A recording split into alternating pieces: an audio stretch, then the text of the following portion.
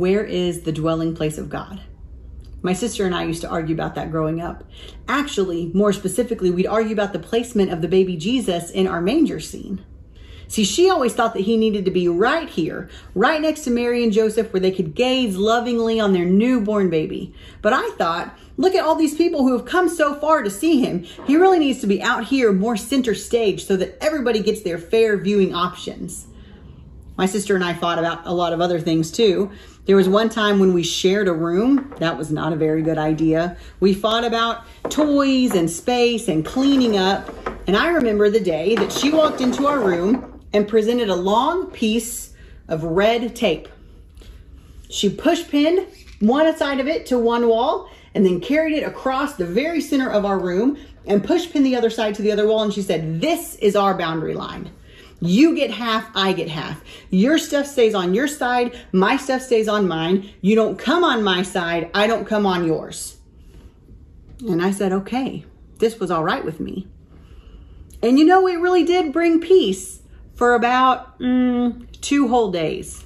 Maybe it was more like two whole hours. I'm not sure because very shortly after, my mom walked in and said, Girls, you need to have your room clean by the time you go to bed. And suddenly, my sister decides, you know, I don't think I actually need 50% of the room. She so benevolently told me that I have more stuff and probably need more space, so she's perfectly happy just moving our boundary line over so that she only gets 25% and I can have the rest of the room. Wasn't that so kind? I was not fooled for a second, which created conflict. And then she decided to just take the tape down altogether, which also created conflict. And this thing that we had put up that we thought was going to bring peace actually did quite the opposite. You know, two Sundays ago, in the first Sunday of Advent, Jason showed us a video by the Bible Project about peace. And I just want to refresh our memory with just a quick clip of it. So check this out. The word peace is common in most languages. People can talk about peace treaties or times of peace. It means the absence of war. And in the Bible, the word peace can refer to the absence of conflict, but it also points to the presence of something better in its place. In the Old Testament, the Hebrew word for peace is shalom. And in the New Testament, the Greek word is eirene. The most basic meaning of shalom is complete or whole. The word can refer to a stone that has a perfect, whole shape with no cracks. It can also refer to a completed stone wall that has no gaps and no missing bricks. Shalom refers to something that's complex with lots of pieces that's in a state of completeness, wholeness. I love that video's definition of peace, definition of shalom as something complex with many pieces that comes together to form a whole, that comes together in completeness. So often we ascribe peace to calmness or to being quiet. We think that the avoidance of conflict is peace. We build our boundaries or our fences or our red tape in order to separate groups so that we avoid conflict and we call that peace. But that's not the definition of shalom. I think the early Jewish Christians struggled with this too because for as long as they can remember, they had cornered the market on God. If you were to ask them, where is the dwelling place of God? Certainly they would say, well, it's with the Jews. The Jews are the people of God. They have the law of God. They've been in covenant relationship with God for as long as they can remember. And even as Jesus started coming on the scene and created some of these divisions because some people started following his way, our early Jewish Christians would still tell us that the dwelling place of God is with the Jews because after all, Jesus was a Jew. Jesus came to proclaim the message of salvation to the Jews. So when Gentiles started hearing this gospel and kind of wanted what Jesus had to offer, the Jews were kind of having a hard time with it. They were trying to figure out, wait, what does this mean? We never thought this was really even a possibility. And the question at hand was, do the Gentiles have to go through the Jews in order to access in order to access Jesus? Do the Gentiles have to go through Judaism, have to become Jewish in order to receive the salvation of Jesus? Now, ultimately, the matter was settled. Paul met with Peter and John and James, and they decided that no, Gentiles did not have to go through Judaism in order to accept Christ. But these divisions didn't automatically go away, and they were clearly still at the forefront of Paul's mind as he, as he sits down to write this letter to the Ephesians, the Gentile believers at Ephesus. And at this point in time, the divisions were still kind of so great that the Gentiles were the outcasts. They were the oddballs. They were the ones that the others were kind of, you know, side eyeing. That the real believers, the veteran believers, weren't really sure even belonged. They weren't really sure this was still a real thing. So Paul wants to remind them of who they are. He starts by, you know, kind of de- describing the divisions between the two of them, making it clear that these divisions are of human hands, made in the flesh. It's a physical trait done by human hands. But then he reminds them of who they were before Christ. He says they were aliens from the commonwealth of Israel and strangers from the covenants of promise and without hope and without God in this world. But then he says, You who were far off have been, have been brought near by the blood of Christ. And what a wonderful thing that is for us because we, as Gentiles, are some of the first beneficiaries of that more inclusive gospel. And then he tells them what Christ did in his reconciling work on the cross, destroying the dividing wall, breaking down the hostility, making the two groups one, abolishing the law. And then he tells them why. And this is what he says in verse 15. He did this so that he might create in himself one new humanity in place of the two, thus making peace, and might reconcile both groups to God in one body through the cross. See, the reconciling work of Jesus on the cross, what Jesus did, did not just bring peace between God and humanity, but it brought peace among humanity by creating a new humanity. And Jesus didn't just do this by absorbing one group into the other or by making one group the most important and telling everybody else to look like them. In fact, Jesus broke down all the divisions that they were upholding against one another, those divisions that Paul told us were of the flesh, were a physical thing. I even think this is why Paul tells us that Jesus abolished the law, because he's saying that those divisions that they held, that was a human thing, not a holy thing. So, this is why Paul can say that Christ himself is our peace because he created a new humanity. He created a new identity, one that is neither Jew nor Gentile, an identity that supersedes both Jew and Gentile. Because remember, that definition of shalom is when complex things like humanity in various pieces like humanity come together to form something that is whole, come together to be complete. The gospel of Jesus Christ is incomplete without the Jews. The gospel of Jesus Christ is incomplete without the Gentiles. The gospel of Jesus Christ is incomplete when these two groups or any groups uphold their divisions and their hostility and stake their own claim to God instead of being united in one new humanity. So the reconciling work of Christ on the cross wasn't just between humans and God, but it was also to bring peace among us, to reconcile us to each other. And I think that actually might be the harder part. Because when I think about the divisions that we have, even just among Christians, even just in the United States, even just in our own little Midwestern part of the world, we are divided along political party lines, we're divided along racial lines. We're divided along, along economic lines.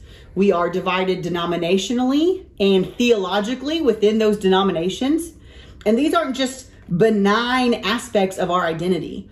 Much like the Jews and the Gentiles, there is hostility associated with these differences. Let's pause right here for a second because I want to be clear that being united in Christ does not mean that our differences go away. It doesn't mean that we suddenly all start looking the same or acting the same, and it definitely doesn't mean that we just avoid them and pretend they're not there. There's great diversity within the body of Christ, and that is a beautiful thing. Unity, as part of Christ's new humanity, is not the same thing as uniformity. When I visited a church in Kenya, there was dancing in the aisles during the worship service. When I visited a church in Cuba, there was no dancing during the service, but when it was over, they moved the pews out of the way and they taught us how to salsa. At my Baptist church growing up, we weren't even allowed to clap to the beat. Culturally, physically, traditionally, there is great diversity amidst the body of Christ, and being unified doesn't mean that all those things go away but it means that they don't bring hostility, that they don't have to bring division or separation. what we normally do is we put up our boundary lines to separate it so as to avoid conflict and we call that peace but that is not true peace that is not shalom this is where we have to remember that when Christ came to make peace, when Christ became our peace, he didn't just absorb one group into the other. He didn't just give us all what we needed to look like. This is why I think the early Jewish Christians struggled so much because, like I said, they wondered if the Gentiles had to go through them, had to go through Judaism in order to access Christ. But I think if Paul were writing this letter today, we would be the equivalent of the early Jewish Christians. We're the ones that now think that we've cornered the market on God. Because if you ask us, where is the dwelling place of God? We would say with Christianity as we know it, certainly. We are the ones who are now the gatekeepers. We are the ones who now decide who's in and out. And in fact, the church in our country has a really bad reputation of drawing those dividing lines of you look like us, you act like us, or we're not quite sure if you're in. We're the ones who are kind of side eyeing these other people, going, I don't know how I feel about this. I'm not sure the kingdom of God is accessible to you, or if it is, you have to come through us. You need to look like us and think like us and come be a part of us and act like us in order to access that salvation. And that is not the peace of Christ when Aaron and I were youth ministers at one of our at one of our past churches, we had a group of teenagers who dressed really differently. None of it was necessarily inappropriate, but it was very flamboyant. The hair, the makeup, the clothes, it just really stuck out among our youth group and among our church, and people started talking. But they were coming. They were coming and they were hearing and they were learning about Jesus. And one day, a fellow staff member pulled us aside and said, You need to tell them that they can dress however they want to on their own time, but when they're at church, they need to look like the rest of us. And I remember thinking, doesn't Jesus say the opposite? So, what boundaries or fences are we still putting up today? What barriers or red tape do we still have in place? Maybe even in the name of peace, but it's actually just doing the opposite. The divisions that we're upholding don't actually bring the peace of Christ. They may bring calm or quiet. They may avoid conflict because we're so separate that we never see each other and never even have the chance for conflict. But this is not the peace of Christ. This is not shalom. You know, these verses tell us that there are some things that Jesus' work on the cross definitively did.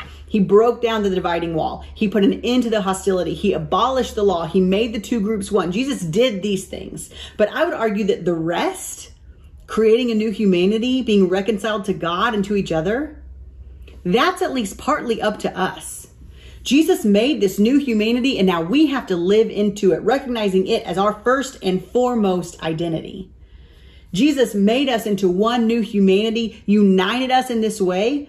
And now we have to accept that other people, even if they look or act or think differently than we are, they are also a part of this new humanity. Jesus broke down barriers and we need to be breaking them down whenever we discover them, either in our own individual lives or when we discover them corporately as the church. Because, like Paul says, listen to what he says here at the very end. So then you are no longer strangers and aliens, but you are citizens with the saints and also members of the household of God, built upon the foundation of the apostles and the prophets, with Christ Jesus himself as the cornerstone. In him, the whole structure is joined together and grows into a holy temple in the Lord, in whom you are also built together spiritually into a dwelling place for God. So, where is the dwelling place of God? It is among us as we live into our new identity as the new humanity in Christ. Where is the dwelling place of God? It is among us as we continue to break down barriers and fences and boundaries and red tape and anything else that divides us in the name of a fake peace.